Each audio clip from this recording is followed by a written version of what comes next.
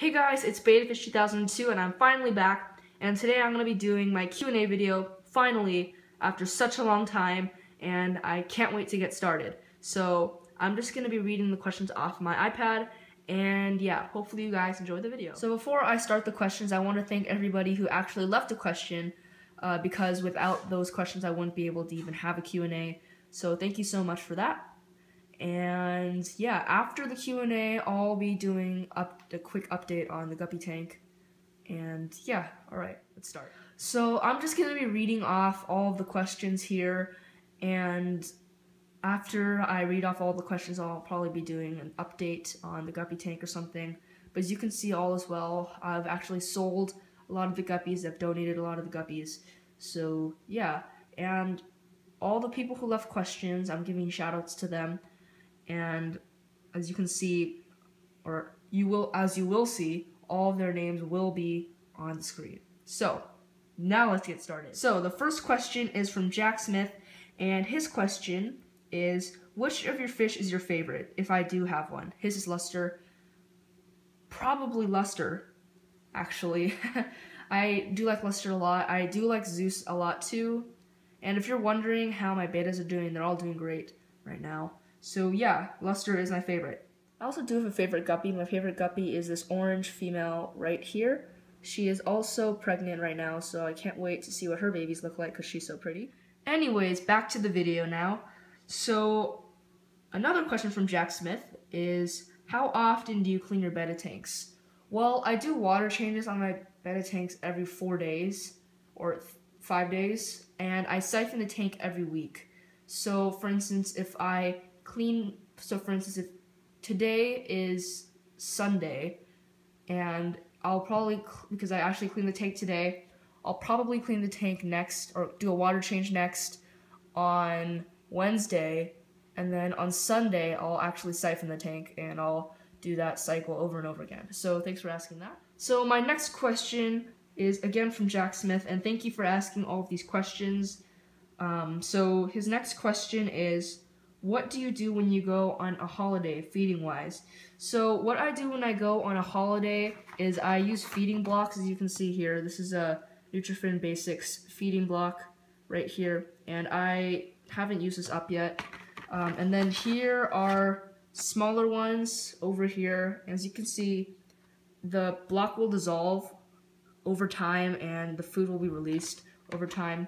So I've used feeding blocks generally if Nobody can take care of them, but generally with my bettas, I do have somebody take care of them. But with the guppies, I just do leave a feeding block in there because they're not too picky about what they eat. So yeah. So those feeding blocks were just for tropical fish. There are specific ones for like bettas, like whoops, like this one right here, this one right here. As you can see, I still have some of these left, and I still do use them. So they're very useful just in case. Alright, so I have one last question from Jack Smith. I might make two parts for this video because this might take a while. So who was your very first betta?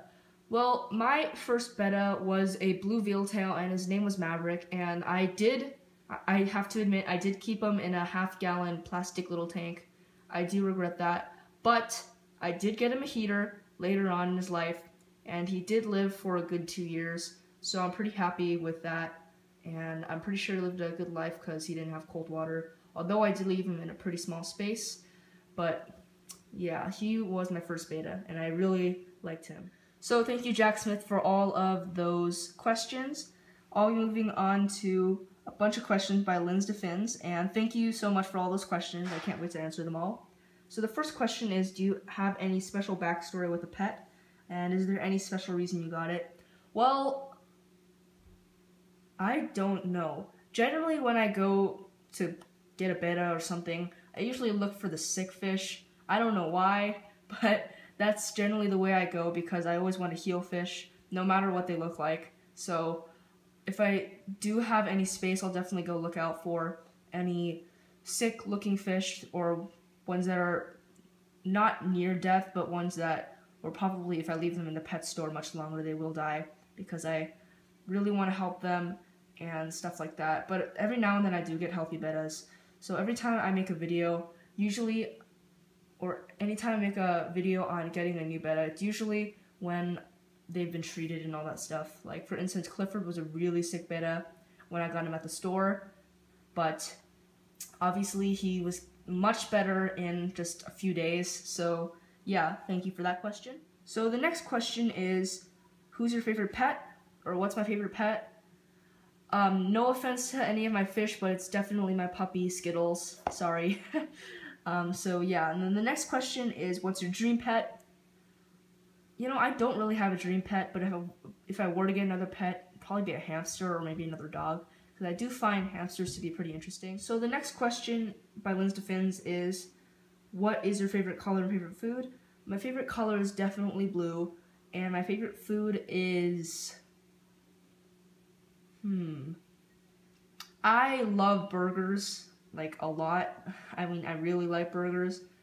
I mean, if I were to eat one thing for the rest of my life, it would probably be a burger. Not only because it's tasty, but it's because it has all this stuff in it, like lettuce, tomatoes, cheese, you know, meat, bread has all the stuff in it, and yeah. The next question is, what do you have a favorite word?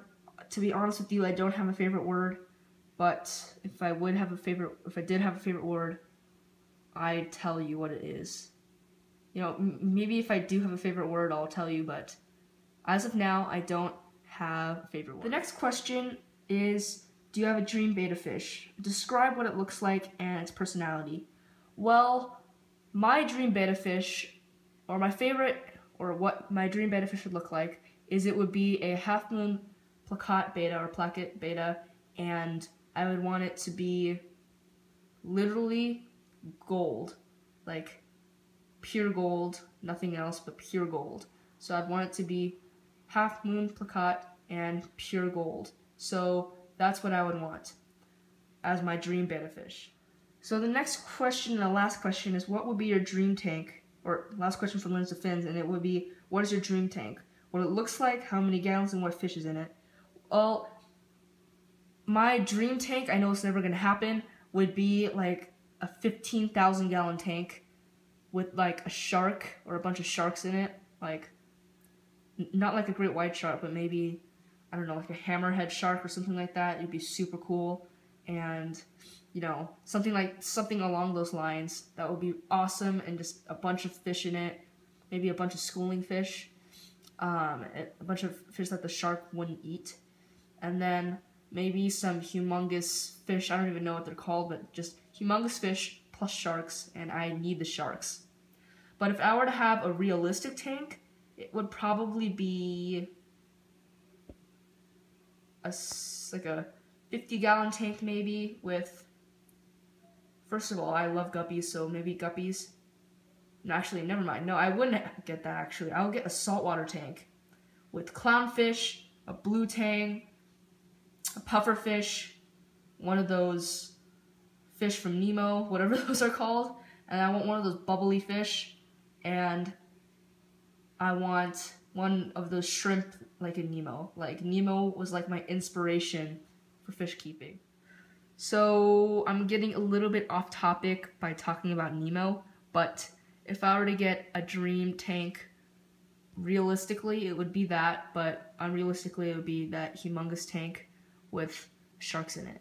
So thank you so much for asking all those questions, Lynn's Defends, and please go subscribe to her. Her channel is awesome. So if you'd go ahead and help me with that, please go ahead and subscribe to her. We've officially hit 9 minutes in this video. I don't know if I'm to make a part 2 or whether I should just finish the whole video. So let's see what happens. So the next question is from Aquatic Pets, and they asked, do you have, do you plan on any more pets in the future? If yes, then what? I don't plan on getting any more pets because, to be honest, my dad thinks I have too many pets, so yeah, I don't think I'll be getting any more pets, but thanks for asking. The next two questions are from Hooked on Fish, and they asked, how do you, how did you get into the fish hobby? Well, as I said before, I watched Nemo, and I got a betta fish. So, first of all, I watched Nemo, and I love Nemo, so I wanted to get a fish. And that led me into getting my first betta Maverick, and after I kept him, I wanted some more bettas, and then I got this tank over here that I'm pointing at right here. I got this tank, and ever since then, I've been loving fish to death, and yeah, I just love them. And then over there is um, Luster's tank. Anyways, so yeah, thanks for asking that. So the next question is, are you planning on breeding betta fish? Well, I don't think so. I think it'll be a little too hard because I don't have another 10 gallon tank or something like that. But if I did have the chance, I definitely would because, you know, breeding bettas is definitely a beautiful thing and it's it's really cool too. So I would, but I can't. So thanks for asking that. Please go ahead and subscribe to Hooked on Fish. The channel is really awesome and I love watching their videos. So yeah, let's move on to the next question. So the next question is from Oswald Online and if you go subscribe to her, her channel is awesome and her name's Nikki, I think. And she has an awesome channel and she, she's really nice too. So if you go subscribe to her, that would be awesome. So our first question was, if you were to get another betta right now, what kind would you get? Right now, I would probably get just a plain veil tail or maybe a crown tail because I want to go very simple right now. I don't have any veil tails right now. So I think maybe to go simple would be nice. So yeah. The next question is what do you look for in a betta fish? So as I told you before, I usually get sick fish, but for tips uh, for anybody, I would say get a betta that has nice coloration, get a betta that's very lively, that wriggles around when he sees you or she sees you, and if he has bright colors and he, he doesn't have nip fins, doesn't have white dots all over him, doesn't seem lethargic whatsoever, I would go ahead and get him because he's probably healthy in that case. If he doesn't have any like torn fins or maybe, you know, some weird looking coating on him, because in that case he'd probably have a disease.